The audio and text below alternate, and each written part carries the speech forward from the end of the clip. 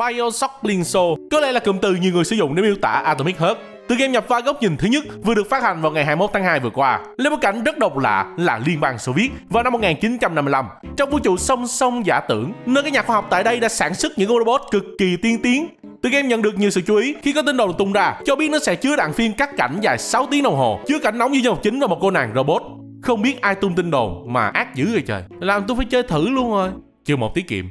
Và trong video ngày hôm nay, xin mời các bạn hãy cùng tôi tìm hiểu xem con game này có đáng chơi không anh em nhé. Còn bây giờ, ngồi xuống, ăn miếng nước, uống miếng bánh. Chúng ta bắt đầu thôi nào.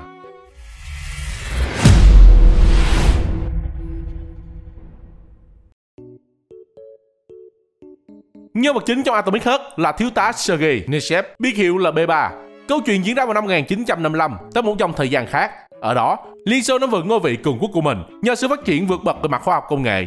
Trước đó 20 năm, một nhà khoa học Liên Xô mang tên là Dmitry Sechenov đã nghiên cứu ra một công nghệ có tên là polymer, à, tức là polymer thêm chữ R, một dạng chất lỏng có thể lập trình được. Phát minh đó giúp nước này đạt được nhiều thành tựu trong công nghệ robot và năng lượng. Lúc này, con người được giải thoát khỏi các công việc lao động chân tay. Những người máy này được kết nối một hệ thống trí tuệ nhân tạo chung, được gọi là Collective vào cái ngày định mệnh lúc phiên bản nâng cấp Collective 2.1 được tung ra, ngày 13 tháng 6 năm 1955, một sự cố xảy ra khiến tất cả robot kết nối hệ thống này trở nên điên loạn. Sergei Nechev được Sechenov cử đến khu nghiên cứu 3826, nơi bắt đầu thảm họa để truy lùng kẻ phản bội và xử lý sự cố trước khi tin tức về nó bị lộ ra. Sao nghe giống cốt truyện kẻ quỷ gì kìa ta? Nếu đã từng chơi Half-Life phiên bản đầu tiên vào năm 1998 thì có lẽ bạn sẽ nhận ra Atomic Heart có cảnh đầu khá tương tự. Đó là nhân vật chính tham gia một tour tham quan với khả năng di chuyển và điều khiển bị hạn chế. Một phần thế giới của game được giới thiệu nhanh chóng thông qua phân đoạn này. Từ cuộc sống bình thường của người dân Liên Xô khi có những con robot phục vụ cho mình, cho đến kích thước khổng lồ của khu nghiên cứu 3826. Nếu các bạn để ý, các đoạn phim cắt cảnh cho Atomic Heart sau đó cũng có một sự học tập siêu phẩm cụ vào khi mà nó gần như không bao giờ thay đổi góc nhìn mà diễn ra hoàn toàn thông qua những gì nhân vật chính Sergei Nechev nhìn thấy. Một điểm mà hãng phát triển là Monswiss đã làm tốt, đấy là vẽ một môi trường đậm chất Liên Xô trong game này.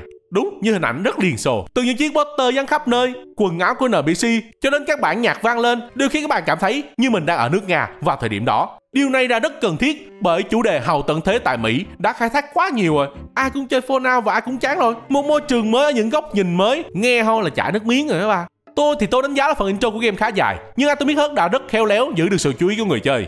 Từ kiến trúc tráng lệ của tòa cốc, cạnh quảng trường diễn ra buổi diễu hành, cho đến cảnh khu nghiên cứu 3826 khi nhìn từ trên cao xuống, và dĩ nhiên, đó là hai con robot sinh đôi với chiều cao hơn 2 mét. Trời ơi, Game of the Year, Game of the Year đây rồi.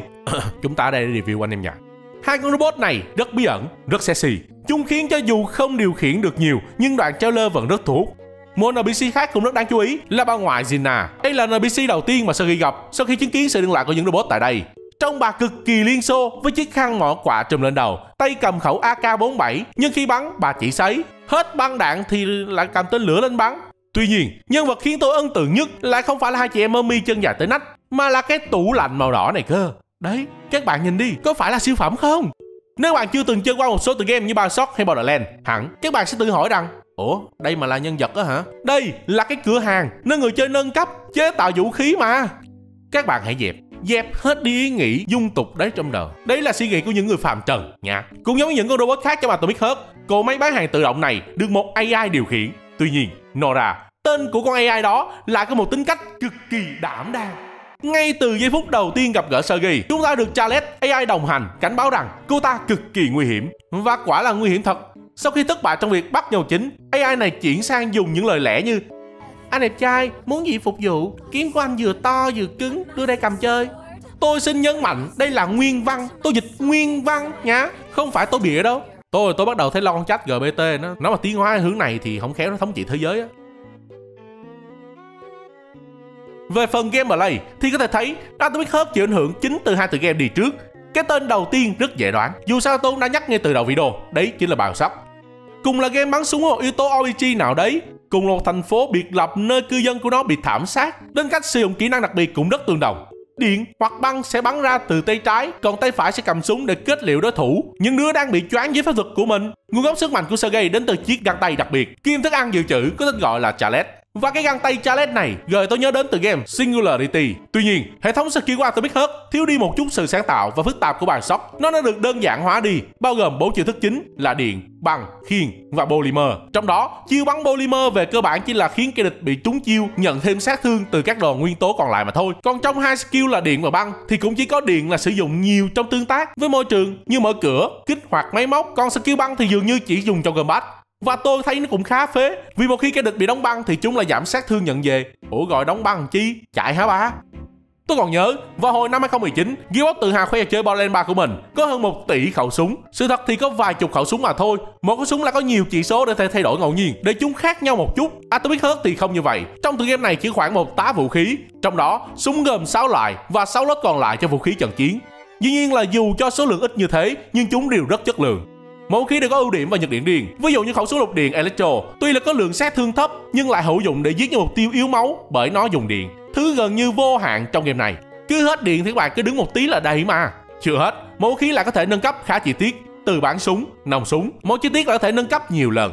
Ví dụ như chiếc rìu, ngoài việc nâng cấp bán cầm hay lưỡi thì bạn có thể chỉnh sửa chi thức đặc biệt của nó, hoặc là chém mạnh một cái bổ từ trên xuống, hoặc là 360 độ cứ quay vòng vòng như trong chóng. Nói tóm cái máy lại thì cảm giác sử dụng vũ khí cho Atomic Heart là khá tốt. Một cú bắn hay cú chém của bạn đều có tác động nhìn thấy được trên địch thủ. Chẳng hạn như mấy con robot này, không phải cái tủ lạnh này. Ý tôi là con này, khi các bạn chém vào đâu thì nó rụng chỗ đó, bắn vào mặt thì mặt sẽ bị thủng. Đấy, lại chả bảo là cộng một chân thật.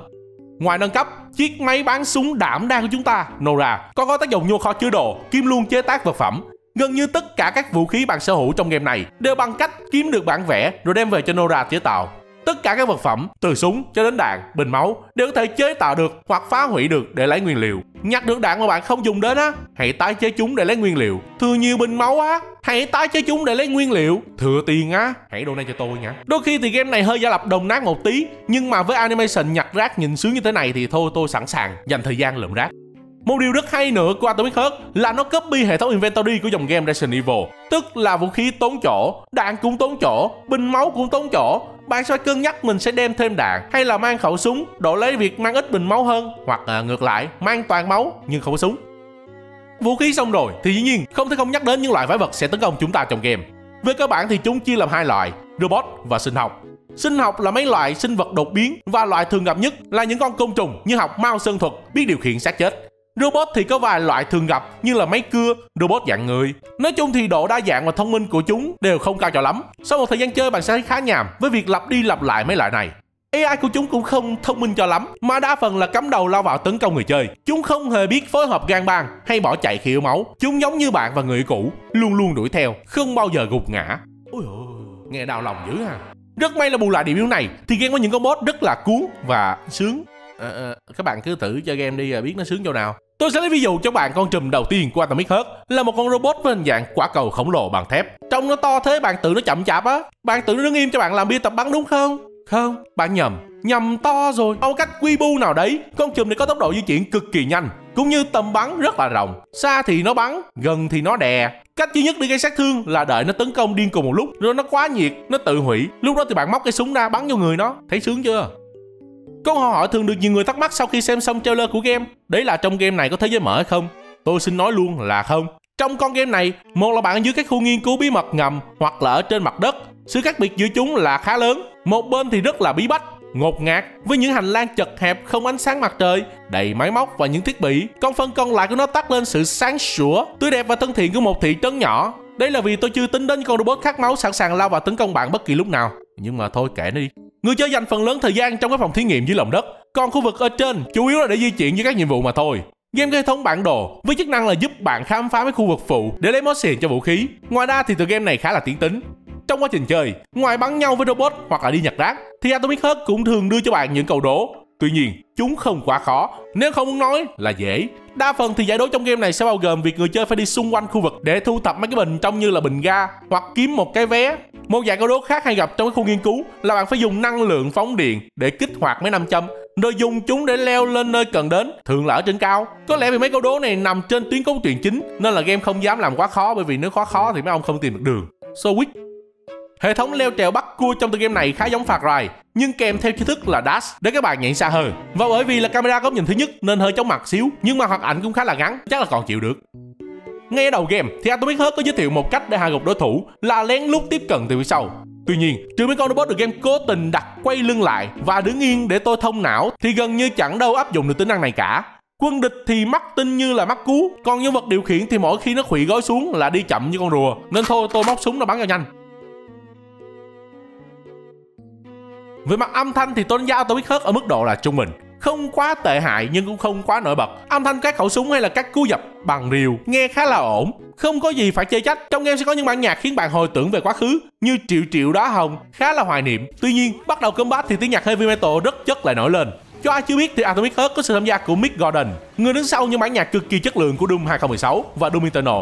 Đồ họa của game cũng tương tự, không quá đặc sắc. Thậm chí nếu các bạn nhìn thật gần thì mặt của những NPC khá là thô, không có mấy biểu cảm và cái miệng thì nhấp chật nhịp.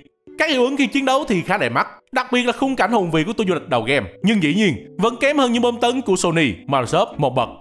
Tuy nhiên thì tôi không coi đây là điểm trừ của game, bởi nó vẫn đủ đẹp, đồng thời vẫn chạy rất mượt mà với hình tầm trung, chứ không giật tung đích như Hogwarts Legacy. Thử nghiệm thì với con card màn hình như 1660 chạy rất ổn ở mức low Full HD, còn card đời 3000 trở lên thì úi ôi, hết gà hải rồi. Sau khi dành nhiều tiếng đồng hồ với Atomic Heart, tôi có thể tự tin nói rằng đây là một sản phẩm rất đáng chơi. Đặc biệt là nếu bạn thích Bioshock, Prey hay là game hành động nói chung.